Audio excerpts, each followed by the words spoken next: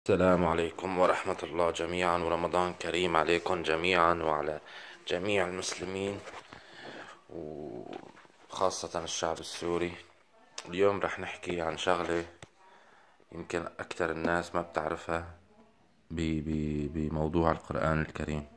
هاي معلومة أنا جديدة سمعتها وصراحة أبهرتني هاي هاي المعلومة. القرآن الكريم دائما نحن بي وبالذات بشهر رمضان أكثر الأيام اللي فيها روحانية وفيها إيمان وفيها تقرب إلى الله. بنفتح القرآن الكريم نقرأ القرآن الكريم ندخل ننبهر ب ب ب ب بكلمات القرآن الكريم بعظمة ربنا بالروحانية اللي فيه. لكن بحياتنا وأنا أول الناس ويمكن كتير ناس مثلي ما ما دخلوا بتفاصيل هذا الكتاب العظيم. أو كيف صنع هذا الكتاب؟ مين اللي طبعه؟ كيف انطبع؟ مين الجهة اللي طبعته؟ كم المدة اللي طلت طباعة هذا القرآن العظيم؟ رح رح تشوفوا ال ال ال ال ال بسم الله الرحمن الرحيم الحمد لله رب العالمين الرحمن الرحيم مالك يوم الدين إياك نعبد وإياك نستعين. اهدنا الصراط المستقيم صراط الذين أنعمت عليهم غير المغضوب عليهم ولا الضالين آمين. شايفين الإتقان شايفين ال ال الإبداع الشغف ال ال ال ال النورانية في في في طباعة هذا المصحف أكيد أغلب الناس ما راح ما بتعرف هاي المعلومة. ما راح أطول عليكم كتير راح أدخل بصلب الموضوع. هذا القرآن الكريم وهاي النسخة بالذات هاي النسخة هي عبارة عن طباعة باليد وليست طباعة في المطبعة أو الكمبيوتر أو أي شيء.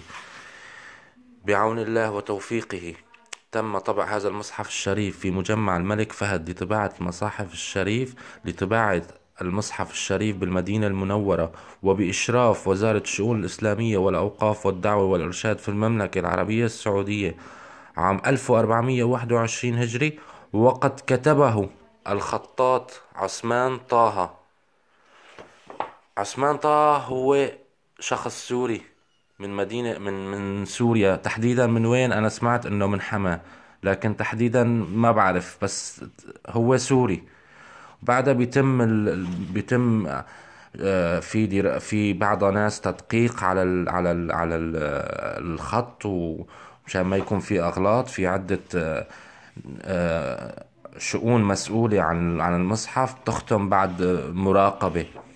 هذا القرآن الكريم يا جماعة أنا أول مرة هاي المعلومة حقيقة أبهرتني. شايفين؟ هذا كله هذا كله القرآن الكريم هو عبارة عن خط يد. وليس طباعة كمبيوتر ولا نسخ ولا أي شيء. إبداع أنا حقيقة انصدمت من هاي المعلومة. سبحان الله كأنه قمة الإبداع قمة الإتقان قمة الفن. يا جماعة هذا القرآن الكريم النسخة هاي بالذات نسخة الملك فهد تاخد ثلاث سنوات لطباعة المصحف كامل لخط اليد. ثلاث سنوات بشكل يومي. سبحان الله سبحان الله يا جماعة. شيء شيء إبداع إبداع. طبعا غير إنك أنت تقرأ القرآن هو هذا شيء من ربنا لأنه ربنا. لكن إنسان يكون بهال بهال بهالإتقان وبهال بهالفن وبهالقمة العظمة شيء شيء مبدع جدا. حقيقة والله أنا صدمت من هاي المعلومة. والسلام عليكم ورحمة الله.